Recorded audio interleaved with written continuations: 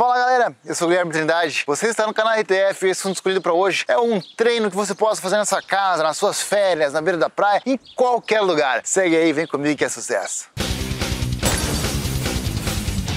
Então, galera, a dica de treino é um treino muito simples, você pode estar fazendo em qualquer lugar. Nós já falamos sobre isso, sobre sombra de boxe, a Shadow Box. Como o nome já disse, é, então, é um treino de sombra. E com auxílio do Boxing Band. Por que, que eu vou usar o auxílio do Boxing Band? Como a gente já falou sobre como ganhar velocidade com o auxílio do Boxing Band, a gente estava devendo uma carga de vídeos onde você possa estar treinando com o auxílio do Boxing Band. Então eu vou fazer aqui uma sombra de boxe, onde eu vou usar o Boxing Band como resistência, a fim de dar força e velocidade.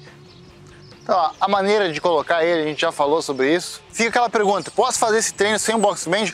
Lógico, lógico que pode. Mas se você não tem um box band, corre lá em boxschool.com.br e garanta já o seu na loja oficial do canal RTF, boxschool.com.br. Então vamos dar aqui o prosseguimento do que estamos falando, onde falamos a sombra do box. Posso estar com o boxing band, posso estar sem. Eu vou dividir o treino em rounds de 3 minutos, 5 minutos. Vai ser um treino normal, mas onde eu vou estar fazendo apenas a sombra e usando os boxing bands aqui como resistência. Afinal, eu não tenho nenhum, não tenho nenhum alvo aqui e não tenho nenhum foco para que eu possa estar desferindo meus golpes. Então eu não vou colocar contundência no ar para que eu possa estar de repente até machucando meus cotovelos, minhas articulações por estar batendo no vazio. Então eu vou usar aqui o boxing bench para dar aquela leve resistência e vou trabalhar. Vamos atentar alguns detalhes, já falamos sobre o treino de shadow box, sobre o treino de sombra. Você vai procurar um adversário. Uma coisa que eu sempre costumo dizer, o treino é você quem faz, não é o seu professor, não é o lugar que você tá, não é o seu material de treino, enfim. Não adianta você chegar aqui e ficar, pô, você pode ficar três horas.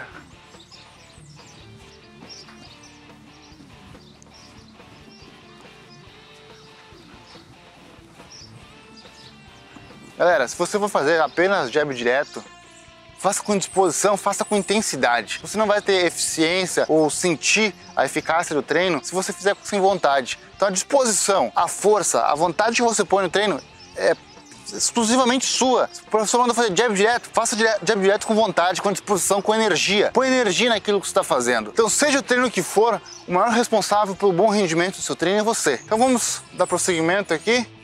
Gostei dessa palavra, prosseguimento. Tempo em tempo eu me lembro dela e fico falando. Vou escolher aqui a nossa segunda ponto a se observar, é o adversário. Eu tenho um adversário imaginário. Eu não estou lutando contra 444 mil adversários, estilo Jack Chan, então eu tenho que manter o meu foco nesse adversário. Não posso um, dois, três, ah, chutei, oh, um, dois, três, quatro, ah, chutei, opa, um, dois, três, uou, e mudei de direção de forma aleatória. Eu tenho que imaginar e seguir constantemente esse adversário, movimentar, obviamente, mas sempre seguindo um adversário. Como é que é? Sombra de boxe eu tava chutando aqui foi mal. É...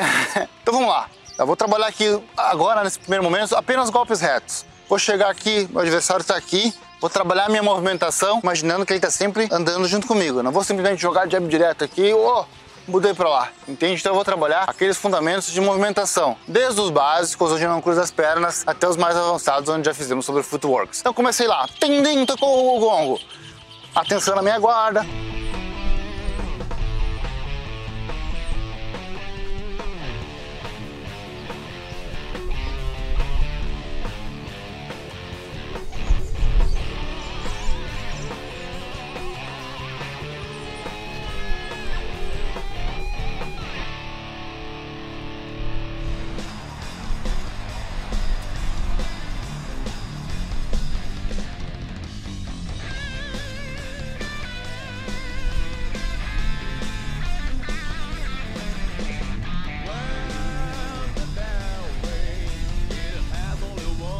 Feito aí um round apenas de golpes retos, eu vou fazer um round apenas de golpes curvos. Lógico, posso fazer um, dois, três, quatro. Quantos rounds eu estiver disposto a fazer desde que eu faça eles bem feitos. Então foi lá. Ding.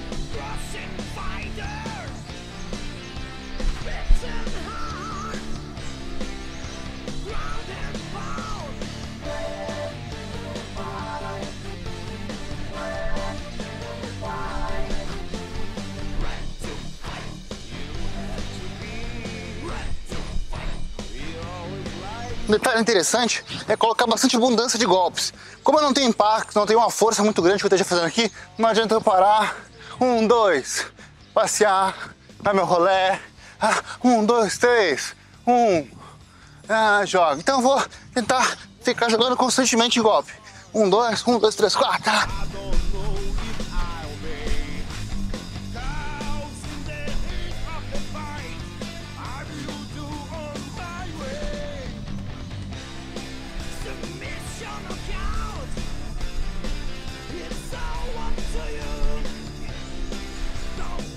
Ápice das galáxias. Feito apenas os golpes curvos, agora eu vou mesclar. Trabalhar os golpes retos, os golpes curvos, a minha movimentação e também a minha guarda e movimentos de cabeça. O mais próximo de um combate real. E não vai ser nada real, né? Porque o meu adversário é imaginário. Bem, bem!